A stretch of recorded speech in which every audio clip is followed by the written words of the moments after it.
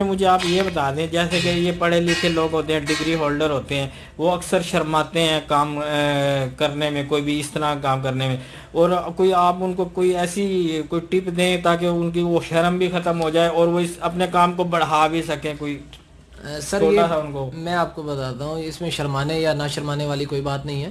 Business ہے میں sir آپ کو چھوٹی سی ایک بات بتاتا ہوں، میں اس سے پہلے ایک بینک میں جاب کرتا تھا، نام تو میں نہیں لوں گا، لیکن ایک بینک میں میں جاب کرتا رہا ہوں، تقریباً تیرہ سے چودہ ماہ میں نے جاب کی ہے۔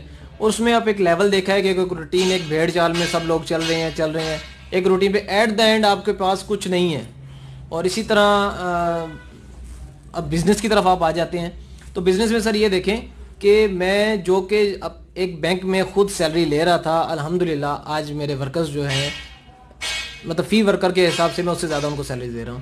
تو اس میں شرمانے کی بات نہیں ہے اللہ تعالیٰ نے بھی اگر رزق اس میں نو گنا لکھا ہوا ہے تو آپ وہ کر کے دیکھ لیں تاکہ اپنی آزما کے دیکھ لیں بجائے اس کے کہ آپ کسی کی نوکری کریں آپ اپنا بزنس کیوں نہیں کرتے؟ تاکہ آپ کے لیے آپ کی فیملی کے لیے آپ اس کو بہتر سپورٹ کر سکیں۔ السلام علیکم ویور یور اسکل میں آپ کو خوش آمدید۔ ایک آصف میدی بھائی ہیں کوئی دو مرتبہ انہوں نے ریکویسٹ کی ہے کہ چکن کا جو گوشت ہوتا ہے اس کے اوپر کوئی ویڈیو بنا دیں بزنس کے اوپر۔ تو نوید بھائی ہمارے ساتھ موجود ہیں یہ پولٹری کا ہی کام کرتی ہے چکن میٹ کا۔ تو نوید بھائی آپ ہمیں یہ بتائیں کہ آپ کی ایجوکیشن کتنی ہے؟ آپ کے بھائی بھی آپ کے ساتھ ہوتے ہیں ان کی ایجوکیشن کتنی ہے؟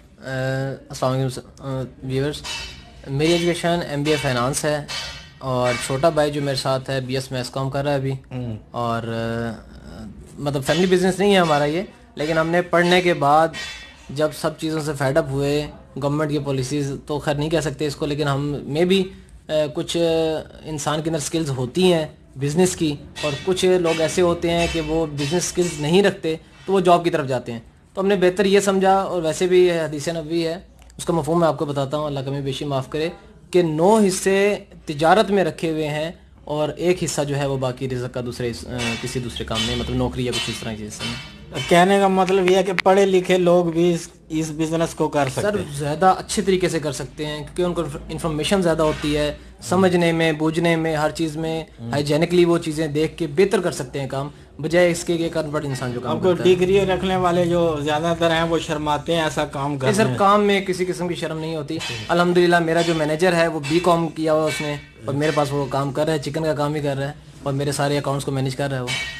ویور اندازہ کریں ان کا جو مینیجر ہے وہ بھی کٹنگ کا ہی کام کرتا ہے کٹنگ کا کام بھی کرتا ہے سر میں خود بیچ میں میں خود کٹنگ کا کام بھی کر لیتا ہوں سارا کچھ خود کوئی بھی بزنس آپ نے کرنا ہے اس سے پہلے یہ ضروری ہے آپ کے لیے کہ آپ اس کی گراؤنڈ ریئلٹیز میں جائیں مطلب اس کو کرنا دیکھنا سیکھنا اس کے بعد آپ بزنس میں انٹر ہوں جی جی اچھا، کتنے عرصے سے کر رہے ہیں کام سر تقریباً مجھے بارہ سال ہو گئے ہیں۔ بارہ سال جی بارہ سال ہو گئے اچھا مجھے یہ بتائیں جو چکن ہے اس کا ریٹ گورنمنٹ نکالتی ہے یا منڈی سے نکلتا ہے اس کا ریٹ؟ سر بیسکلی جب سٹارٹنگ میں تو منڈی ہی اس کا ریٹ نکالتی ہے۔ گورنمنٹ کی جو لسٹ آتی ہے جیسا کہ یہ میرے پاس ہے یہ جی۔ یہ دیکھیں یہ ٹک لگا ہوا ہے مرغے تو یہ لسٹ تو گورنمنٹ نکالتی سر یہ مجسٹریٹ ڈیلی بیسس پہ جو ہم ریٹیل سیل کرتے ہیں اس کے لیے نکالتی ہے گورنمنٹ۔ اچھا۔ جو بھی منڈی کا ریٹ صبح مارکیٹ میں اوپن ہوتا ہے ہاں۔ اس کے بعد اس پہ مارجن جو ہے ففٹین روپیز پر کے جی گورنمنٹ دیتی ہے ہمیں۔ گورنمنٹ دیتی جی گورنمنٹ دیتی ہے۔ تو آپ جو یہ ریٹیلر میں سیل کرتے ہو اس پہ پر کلو یا پر من کتنی بچت آ جاتی ہوگا؟ سر یہ تقریباً چھ سو روپے اراؤنڈ اباؤٹ ہمیں جو ہے پر من پہ ابھی جا جاتا ہے۔ ایک من پہ؟ ایک من پہ بچ جاتا ہے۔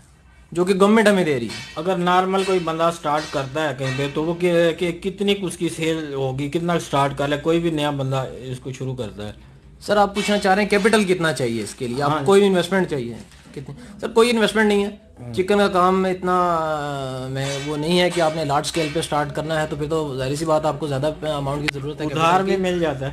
سر جی موسٹلی جو ہے چکن کا کام ایسا ہے کہ یہ ٹوٹل ہوتا ہی کریڈٹ پہ ہے۔ مطلب آپ مارننگ میں صبح مال اٹھا لیتے ہیں اس کو سیل کرتے ہیں اس کے بعد منڈی میں آڑتی بیٹھے ہوئے ہیں سپلائر بیٹھے ہوئے ہیں جو کہ آپ کو اس کے اگینسٹ آپ کو مال دے دیتے ہیں اور آپ شام کو ان کو پیمنٹ کر دیتے ہیں سپلائی میں نے دیکھا دو طرح سے ہوتی ہے ایک گاڑیاں آپ کی دکان پہ آ کے دے جاتی ہیں یا جی، جی۔ منڈی سے جا کے لے کے آنا ہوتا ہے۔ سر یہاں پہ ڈیپینڈ کرتا ہے۔ اگر آپ کسی مڈل مین مطلب آڑتی کے ساتھ اٹیچڈ ہیں یا کسی بروکر کے ساتھ اٹیچڈ ہیں تو آپ کو گاڑی سپلائی آپ کی دکان پہ مل جاتی ہے۔ وہ آپ کو ریٹ تھوڑا مہنگا پڑتا ہے۔ اس میں اچھا۔ آپ کی جو پروفیٹیبلٹی ہے وہ کم ہو جاتی ہے۔ اگر آپ خود لے کے آتے ہیں پھر خود لے کے آتے ہیں تو وہ آپ کو بہتر سستا مال مل جاتا ہے کیونکہ فارم ریٹ جو ہوتا ہے وہ منڈی سے کم پہ پرچیزنگ ہوتی ہے فارم سے۔ اچھا۔, اچھا اس کا پروسیس میں آپ کو تھوڑا سا ڈسکس کر لوں کہ یہ جو پروسیس ہے ہمارے ریٹیل کا یا شاپس کا وہ یہ ہے کہ بیسکلی چکن لیتے ہیں فارم سے۔ فارم سے چکن آتا ہے منڈی میں۔ منڈی سے چکن آتا ہے پھر ریٹیل شاپ پہ۔ ہمارے پاس یہ ہول سیلرز کے پاس۔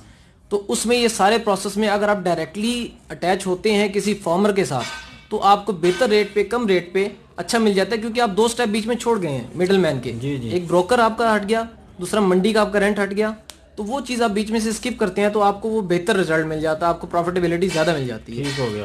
تو آپ نے بتایا چھ سو روپے من تک بچ جاتے ہیں۔ ایزیلی بچ جاتا تو دوسرا اس میں ایک کنٹرول شیڈ ہوتا ہے ایک نارمل فارم ہوتے ہیں۔ ان کا کیا ڈیفرنس ہے؟ ہے ایسا ہے کہ اس میں دو طرح کا بیسکلی یہ ہے۔ پہلے کے دور میں جب یہ پرانی ٹیکنالوجی تھی، اتنی ایڈوانسمنٹ نہیں آئی تھی، تو اوپن شیڈ ہوتے تھے۔ مطلب جیسے آپ گاؤں دیہات میں دیکھیں تو سائڈوں پہ چک لگا کے فارم میں مال ڈالا ہوا ہے، اس میں سے وہ پروڈکشن آ رہی ہے۔ اس میں آپ کو گوشت کی ایوریج اتنی اچھی نہیں ملتی، بنسبت آپ کے کنٹرول شیڈز کے۔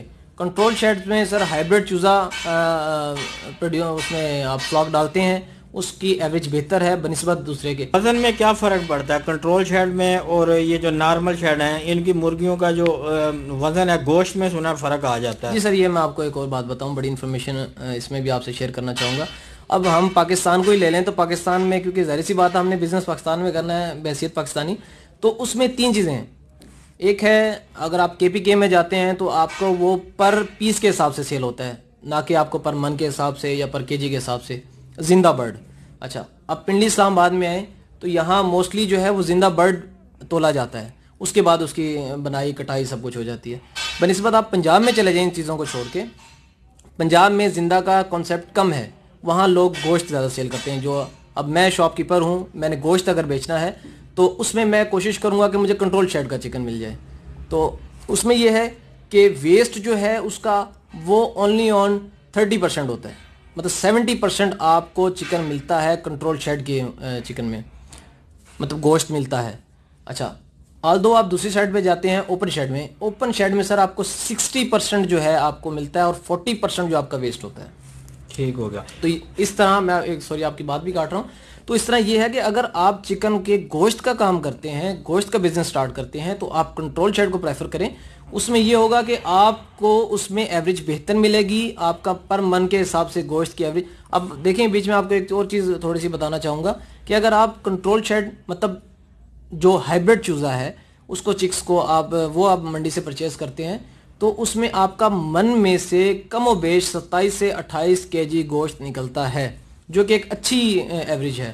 اور اگر ویسے دیکھ لیا جائے جو ہمیں مجسٹریٹ کی طرف سے آتا ہے مطلب ففٹین پیز کا مارجن وہ تو زندہ کا حساب ہے۔ لیکن اگر ہم گوشت کے ایوریج لے لیں تو اس سے مچ بیٹر ہے، جو پنجاب میں ریٹیل سیل ہوتا ہے، جیسے لیٹ سپوز کہ اگر زندہ منڈی کا ریٹ ایک سو پچیس روپے سیل ہو رہا ہے ایک سو بیس روپے منڈی کا ریٹ اوپن ہوتا ہے، تو اس کا چکن جب ہم گوشت بناتے ہیں تو وہ موسٹلی جو ہے جا کے ٹچ کرتا ہے ون ایٹی ون نائنٹی اس کے قریب قریب۔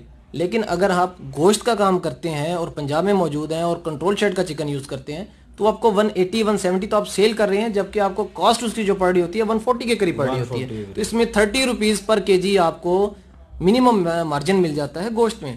تو زندہ سے زیادہ آپ کو بچت اچھی بچت جو ہے وہ گوشت میں۔ ہے جو گوشت سیل کرتے ہیں۔ جی گوشت۔ آپ نے بتایا چھ سو روپے من میں بچتے ہیں۔ اب اس کے اندر کٹنگ کا خرچہ بھی ہے۔ کاریگر جو ہے گوشت بناتے ہیں۔ تو یہ تھوڑا سا بتا دیں کہ آپ نے یہ چھ سو روپے صافی بتایا ہے یا اس کے اب دکان کا کرایہ تو علاقے کے اوپر ڈیپینڈ کرتا ہے اگر رینٹ کی دکان ہے۔ وہ تو ایک الگ چیز ہے۔ اس کے اوپر خرچہ بھی ہوتا ہے اور دوسرا آپ سے اسی سے ریلیٹڈ سوال ہے یہ جو ویسٹ نکلتا ہے آپ کا جی جی۔ اور جو پنجے وغیرہ نکلتے ہیں تو یہ آپ کس حساب سے سیل کرتے ہیں؟ اس کی میں نے سنا کہ اکٹھے پیسے مل جاتے ہیں وہ بھی ویور کو بتا دیں تاکہ اس سے دکان وغیرہ کا کرایہ نکل سکتا ہے ویسٹیج وغیرہ سے۔ یہ سر ویسٹیج وغیرہ پہلے تو بیسکلی ایسا ہو رہا تھا کہ کچھ ملکی حالات کے حساب سے پروٹین وغیرہ ہمارے یہاں پروڈیوس اتنی نہیں ہو رہی تھی، باہر سے امپورٹ ہو رہی تھی پروٹین۔ بعد میں کچھ پابندیاں لگی تو اچھا ہو گیا، ہمارے جو لوکل یہاں کے بزنس مین ہیں، ان کے لیے بہتر یہ ہو گیا کہ پروٹین ہم اپنی پروڈیوس کر لیتے ہیں۔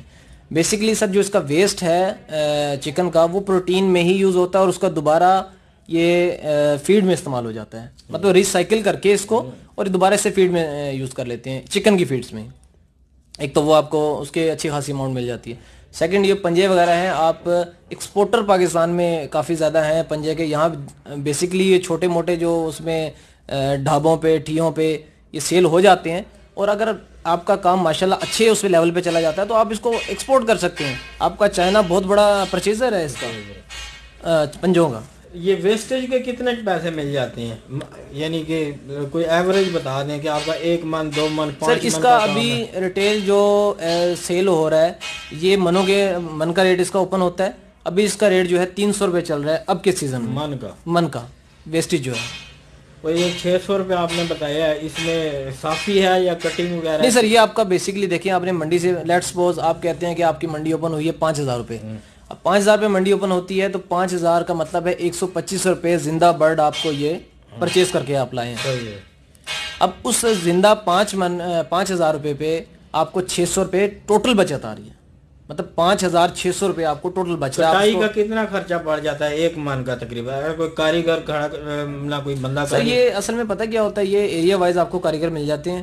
اب جیسے کہ آپ اسلام آباد والی سائڈ پہ آ جائیں تو آپ کو مہنگے کاریگر ملیں گے کیونکہ یہاں کے رہن سہن لوگوں کا اس لیول کا ہے کہ کم میں ان کا گزارا ہوتا نہیں ہے۔ چیزیں اتنی مہنگی ہے یا وٹ ایور جو بھی لگا لیں اس کو۔ لیکن دیہی علاقے میں چلے جائیں تو وہی آپ کو کاریگر جو یہاں پہ سات آٹھ سو روپے یا نو سو روپے پہ پڑتا ہے سارے دن کے لیے وہی آپ کو چھ سات سو روپے بھی مل جاتا ہے پانچ سو پہ بھی مل جاتا ہے اور بعض اوقات چار سو پہ بھی مل جاتا ہے۔ اچھا نوید بھائی یہ جو سپلائی کرتے ہیں گوشت آپ بھی سپلائی کا کام کرتے ہو ماشاءاللہ آپ کا اچھا کام ہے۔ تو ایک تو یہ بتا دیں سپلائی کا کام جو ہے نگد پیسے مل جاتے ہیں۔ جی مل جاتے ہیں۔ دوسرا یہ ہے کہ اس کے سپلائی کو بڑھانے کے لیے کیا کیا جائے اور دوسرا جو ہے یہ بھی ورس چارٹ آپ سائڈ پہ دیکھ رہے ہوں گے اس طرح ایوریج نکلتی ہے چکن تھائی بون لیس اور لیگ پیس ونگز گردن وغیرہ۔ اس کا یہ ریٹ ہے اس کی ریشو کیسے نکالتے ہیں یہ تھوڑا سا بتا دیں اور یہ سپلائی کے حوالے سے بتا دیں جی بالکل۔ سب سے پہلے تو بونلیس کی طرف آتے ہیں کیونکہ چکن کا سب سے مہنگا آئٹم وائٹ میٹ ہی ہے اور کولسٹرول فری ہے۔ اچھا سر اس میں یہ ہے کہ اگر آپ نے سپلائی کرنا ہے مطلب اب لیٹ سپوز کہ آپ بونلیس کے سپلائرز ہیں، جیسے کہ نارملی ہمارے چکن رول پراٹھا میں شورمے میں یا اور ہوٹلس میں، مختلف آئٹمس میں ہم یہ چائنیز ڈشز میں بونلیس یوز کرتے ہیں۔ تو اس کے لیے سب سے بہتر یہ ہے کہ آپ کنٹرول شیڈ کا چکن استعمال کریں اور اس میں منیمم آپ کی ایوریج جو ہے وہ سکسٹین کے جی اور میکسیمم جو ہے سترہ سے اٹھارہ کے جی پر من میں نکل آتی ہے۔ اور اس کا اگر آپ ریٹ نکالنا چاہیں مطلب لیٹ سپوز کہ آج منڈی ہے پانچ ہزار روپے ہم فرض کرتے ہیں۔ تو پانچ ہزار کو آپ ڈویژن کریں گے، اس کو تقسیم کریں گے سولہ سے، تو آپ کا پر کے جی کا ریٹ نکل آئے گا بون لیس کا۔ اور اسی طرح اب اچھا ہیلدی چکن مطلب دو کلو کا چکن جو ہے اچھا ہیلدی چکن ہوتا ہے۔ اگر آپ اس کو لیتے ہیں، برائلر کی بات ہو رہی ہے، تو برائلر چکن اگر آپ دو کے جی کا لیتے ہیں اور اس کو آپ من کی ایوریج نکالنا چاہتے ہیں کہ ایک من سے کتنا گوشت نکل آتا ہے اور اس میں کتنا میں پروفیٹیبلٹی کما سکتا ہوں۔ تو وہ سر منیمم جو ہے آپ کا ٹوئنٹی فور کے جی مطلب چوبیس کے جی گوشت نکل آتا ہے ایک من سے اور میکسیمم جو ہے آپ کا اٹھائیس کلو نکل آتا ہے۔ لیٹس بوز کہ آپ چوبیس نکالتے ہیں تو پانچ ہزار کو تقسیم کریں گے۔ چوبیس سے آپ کا پر کے جی کا ریٹ آ جائے گا وہ آپ سیل کریں۔ جو اوپر کا پروفیٹیبلٹی چار کے جی کا وہ آپ کا مارجن ہے۔ آپ کو ایزیلی کہیں میری سمجھ سے تو باہر آئے ان کا نمبر دے دوں گا کسی کو نہ سمجھ آئے تو ان سے پوچھ لیجیے گا فون کر دوسرا مجھے یہ بتا دیں یہ فیروزن اور فریش جو مرغے ہے اس کا چکن ہے اس میں کیا تھوڑا سا کوئی کوالٹی میں فرق آ نہیں نہیں کوالٹی کا یہ ہے بیسکلی فروزن کا جو لوگ کام کر رہے ہیں وہ بھی اچھا کام ہے ہائیجینک ہے وہ بھی۔ اگر آپ فریش کا کام اچھا کرتے ہیں ہائیجینکلی سارے اس کے جو ہے ریگولیشنز اس کے جو ہے پورے کرتے ہیں آپ تو وہ بہتر فروزن سے مچ بیٹر ہے کہ آپ فریش لیں فریش فریش لیں فریش آپ بنوائیں آپ کے سامنے ہوگا دیکھنے میں آپ کو بہت سے لوگ بیچ میں وہمی بھی ہوتے ہیں تھوڑا ڈاؤٹ فل بھی ہوتے ہیں کہ یار پتہ نہیں یہ ٹھیک تھا نہیں تھا زندہ تھا یہ تھا بہت سی کیا سرائیاں بیچ میں ہوتی ہیں تو اس میں آپ کو بہتر یہ ہے کہ آپ فریش لیں آپ کے دل کو تسلی ہوتی ہے ٹھیک ہے میں یہ کسٹمرز کے لیے مطلب پرچیزر کے لیے کر رہا ہوں یہ بات کر رہا ہوں کہ اب ان کو مچ بیٹر ہے کہ وہ فریش لیں اچھا اور جہاں تک بات رہی پروفیٹیبلٹی کی کہ فریش میں زیادہ پروفٹ ہے یا فروزن میں زیادہ پروفٹ ہے فروزن یہ خرچہ زیادہ ہے، آپ کو زیادہ انویسٹمنٹ کرنی پڑے گی لارج اسکیل پہ کرنا پڑے گا، اس کے لیے فریزر لینا پڑے گا آؤٹ لیٹ بنانے پڑیں گے، اس میں چیزیں سپلائی کرنی پڑے گی ٹوٹلی ہاں فریش میں یہ فائدہ ہے کہ آپ فریش ڈیلی بنا رہے ہیں ڈیلی سیل آؤٹ کر رہے ہیں، اس کو آپ کو یہ ٹینشن نہیں ہے کہ آپ کو یہ ایکسپائری ہے، نہیں ہے، کیونکہ آپ تو ڈے ون پہ کام کر رہے ہیں۔ آپ کو یہ ایک دن سے زیادہ پہ کام نہیں کر رہے ہیں کہ آپ بنائیں گے فریزر میں اسٹور کریں گے، اس کے بعد اس کی ایکسپائری لکھیں گے اور اس کے کیونکہ یہاں بیسکلی ہم اسلام آباد میں بیٹھے ہوئے ہیں، تو اسلام آباد میں بڑے اسٹرکٹلی یہ چیز دیکھی جاتی ہے کہ خدا نہ خاصہ کوئی ایکسپائری چیز تو نہیں یوز کر رہے، اور اچھی بات ہے یہ یہ ہمارے لیے بھی فائدہ ہے اور کسٹمر کے لیے بھی فائدہ ہے کہ ہم ایکسپائری چیز یوز نہ کریں۔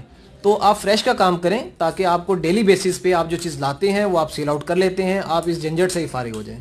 اور اس میں پروفیٹیبلٹی فریش میں فروزن سے زیادہ ہے۔ کوئی ٹپ ان کو دے دیں کہ اپنے بزنس کو وہ بڑھا سکیں۔ سیل بڑھا سکیں اپنی۔ ڈیل کیسے کریں؟ نہیں سمجھے اس کی کوئی زیادہ کام سپلائی کا نا۔ ہاں ہاں۔ زیادہ کہ زیادہ کام سپلائی کا وہ اس کو کیسے بڑھا سکتے ہیں؟ کیسے اپنے مقصد ہے کہ مارکیٹ کے اندر جو ہے اپنے وہ تعلقات بنا سکتے ہیں لوگوں سے؟ کیسے ان کو جو ہے وہ اپنے بزنس کو گروتھ کیسے کر سکتے ہیں؟ جی۔ آپ نے بزنس کی گروتھ کی بات کی۔ سر بزنس کا گروتھ جو ہے، آپ سب سے پہلے اس کے لیے آپ کا ایفیشینٹ ہونا بہت ضروری ہے۔ کسی بھی بزنس کے لیے آپ کا تھوڑا شارپ ہونا ضروری ہوتا ہے۔ چیزوں، لوگوں سے میل جول، اپنی پی آر بنائیں۔ اچھا اس کے علاوہ پبلسٹی کریں، آپ بروشرز وغیرہ بنوائیں، لوگوں کو سینڈ کریں۔ جس علاقے میں آپ ہیں، وہاں علاقے مکینوں کو آپ بروشر سینڈ کریں۔ پمفلیٹ چھپوائیں آپ کے، ٹھیک ہے؟ کوئی بھی سوشل میڈیا یوز کر کے آپ اپنی پبلسٹی کریں، تاکہ لوگوں کو اویئرنیس ہو، اپنے ڈیٹس وغیرہ سینڈ کریں۔ دوسرا آپ جو مین ایک اور چیز ہے کہ آپ سب سے بہتر ہے کہ آپ ریٹیل سیل کے ساتھ ساتھ کچھ آرڈرز دیکھیں مختلف ہوٹلز کے دیکھیں اچھا اس کے علاوہ شادی ہالز کے دیکھیں۔ اس میں مارجن اچھا مل جاتا ہے کیونکہ بنڈل میں وہ چیز ہوتی ہے شادی ہال کا دیکھ لیں کسی مارکیٹ وغیرہ کا آرڈر دیکھیں تو اس میں چیز آپ کی بلک میں بلک میں چیز جائے گی زیادہ چیز جائے گی پروفیٹیبلٹی کم بھی ہو۔ تو پر یونٹ کے حساب سے آپ دیکھتے ہیں جہاں آپ کو دس روپے بچ رہے تھے پر کے جی میں یا جیسے ریٹیل میں آپ پندرہ روپے پر پیس پہ بچا رہے ہیں پر کے جی پہ بچا رہے ہیں۔ تو آپ اس کو پندرہ کے بجائے مارجن کو لیس کر کے آپ فائیو پہ بھی لے آئیں گے، پانچ روپے پر کے جی پہ بھی بچائیں گے۔ تو آپ کو پر یونٹ کے حساب سے جہاں آپ دس، پندرہ، بیس یا پچیس یونٹ سیل کر رہے تھے، وہاں آپ ہزار یونٹ سیل کر رہے ہیں۔ تو آپ کی جو پروفیٹیبلٹی ہے وہ تھوڑی تھوڑی کر کے وہ جب آپ لمسم کریں گے اس کو، جس طرح کہتے ہیں نا کہ قطرے قطرے سے دریا بنتا ہے، تو وہ چھوٹی چھوٹی چیزوں کو آپ جب اکٹھا کریں گے تو آپ کی پروفیٹیبلٹی وہ بڑھ جائے گی کافی انہینس کرے گا اس کو وہ۔ اب یہ چکن جو ایسی چیز ہے جو ڈیلی بیسس پہ تقریباً کھائی جاتی ہے اور بڑے پیمانے پہ کھائی جاتی ہے۔ بھائی اپنا نمبر دے رہے ہیں۔ اگر کسی بھائی کو مزید معلومات چاہیے ہو بزنس کے حوالے سے یا وہ بزنس کرنا چاہتے ہو یا اس کی پوری رہنمائی کر دیں گے تو نمبر نوٹ کروا دیں گے۔ جی سر، کیونکہ سر اتنا چھوٹے ٹائم سپین میں اتنا بڑا جو بزنس ہے وہ ڈسکس نہیں ہو سکتا ہے۔ پھر بھی فردر جو بھی انفارمیشن چاہیے ہوگی انشاءاللہ میں حاضر ہوں۔ نمبر آپ کو میں لکھوا لیتا ہوں۔ زیرو تین سو بیس، اٹھاسی گیارہ ڈبل صفر ایک zero three two zero double eight double one double zero one. یہ میرا نمبر ہے سر۔ بہت شکریہ نویز بھائی۔ تھینک یو جزاک اللہ سر